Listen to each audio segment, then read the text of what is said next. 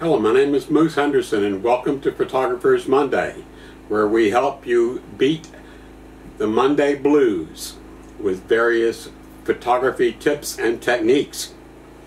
Today we're going to go over how to manufacture your own ground pod for about $10.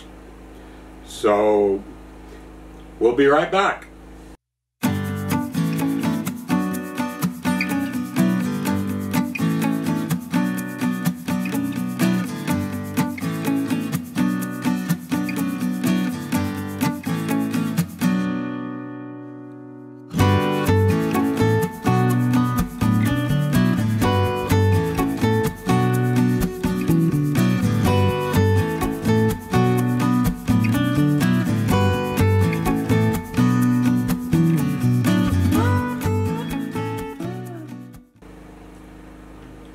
Order to build a ground pod, all you need is a frying pan. Uh, I bought a set of two frying pans. I've got the handles off of these, but I got a set of two frying pans for about $15. The brand name is T-FAL, T-FAL. I'll put a link down in the show comments section on um, on where to purchase them. And as you can see, it's it's pretty simple. It has a screw in the bottom, a little riser block. Then I added uh, Arca Swiss bracket on here, and things like that. It's important when you're buying your frying pans to not buy a really expensive one. Probably also best not to steal one out of the kitchen.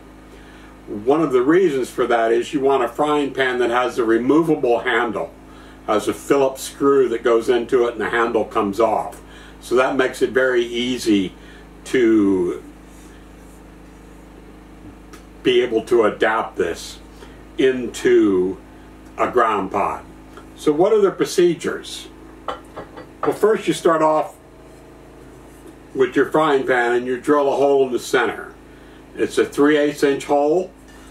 Basically just put it down upside down, probably outside. You don't want to have all the shavings from the metal and stuff on the inside. And just drill straight down through the center with a 3 8 inch hole. Then through that hole, you're going to stick a 3 8 inch bolt. Now there's a number of various different kinds of bolts. You can get ones with hex heads, you can get a carriage bolt, stuff like that. What's going to be important is the length of the bolt.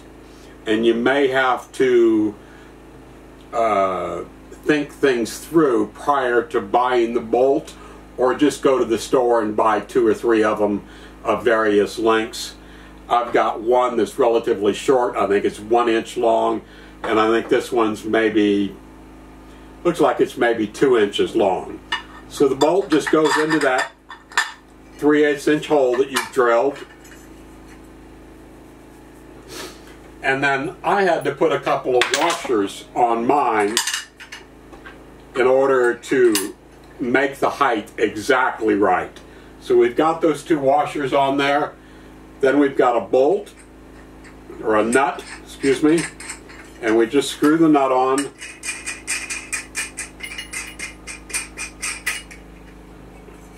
And then you want to tighten this nut down. You want to tighten it because you're going to be putting uh, your camera on here and you don't want to have it flexing or moving around. Uh, one piece of advice about the pans that you buy. The first set of pans I bought were a really cheap set from Wally World. I think the size like this was $3.98. It turned out to be complete junk because when I built my ground pod and put my camera on here, the pan itself would flex on the bottom and stuff because it wasn't thick enough. Now, I like to have a uh, spacer block And so I just cut out of a piece of 2x4 by using a hole saw. I've got various size hole saws here. Uh, I think this one's probably inch and a half or so. If you don't have a hole saw, I'll bet somebody in your neighborhood does have one. And for uh, probably a trade of one of his favorite drinks, he'll cut you out a piece of wood like this. Another thing that I did was cut a little countersink down there for the nut that's in here so that this will screw all the way in. And then I took that same three quarter inch drill and drilled it all the way through after I was done cutting it out with the hole saw. And then this slides or screws onto this same bolt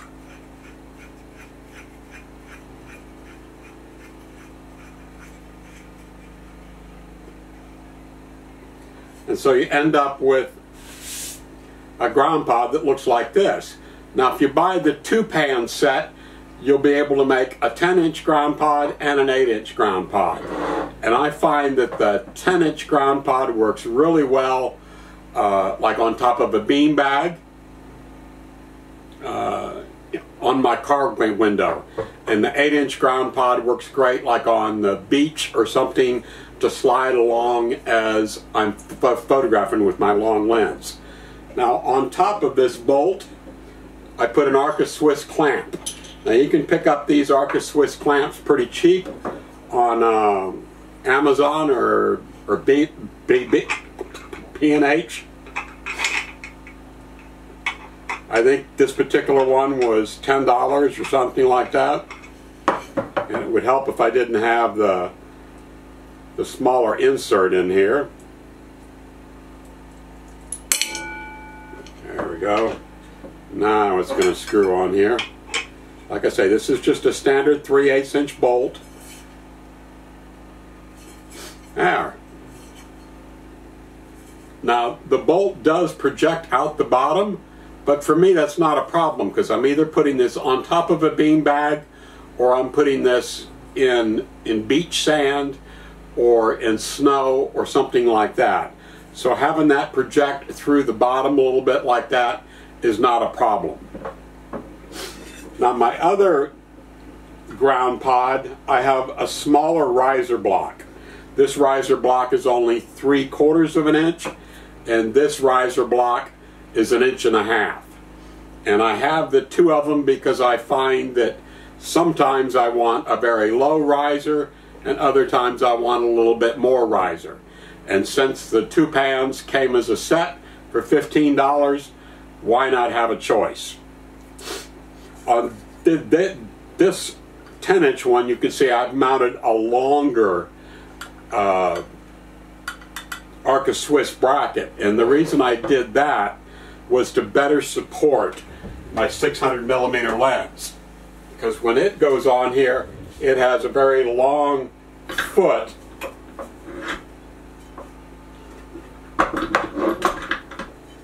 There we go.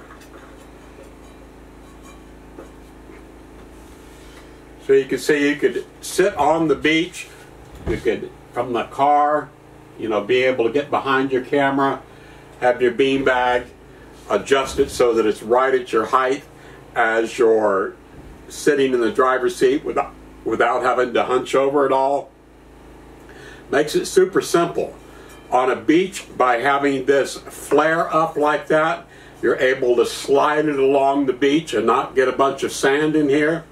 This is also large enough, the 10 inch one, to put like a 1.4 teleconverter or something like that inside here as you're as you're sliding along the beach. That way if the bird is a little bit farther away and you need to put the 1.4 converter on here, you just slide it on there and off you go. As soon as you take it off, you can stick it back in here again and you're good to go. So, as I say, this is fairly easy to construct one of these.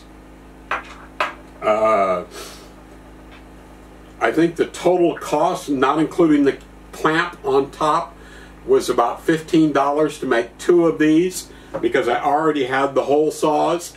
But if you don't have the hole saws, don't go out and buy them, especially for this. I'm sure someone in your neighborhood has hole saws that they had to use in order to build a door out of or something like that. And then the clamps that go on top, even if you buy a commercial ground pod, say a Naturescape Skimmer 2, which is right at 100 bucks, or the RRS ECLA, which I think is 120 bucks or so. Those don't come with the Arca Swiss clamps either. So these ground pods that you're making, a set of two of them, $15, compares with a commercial one that you would pay $100 just for one. So, uh, I give this a try. I have a more detailed set of instructions I will link to in the show comments.